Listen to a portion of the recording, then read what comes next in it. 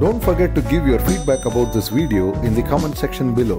Subscribe to my channel and click on the bell icon to get instant notification of my new videos. Thanks for watching.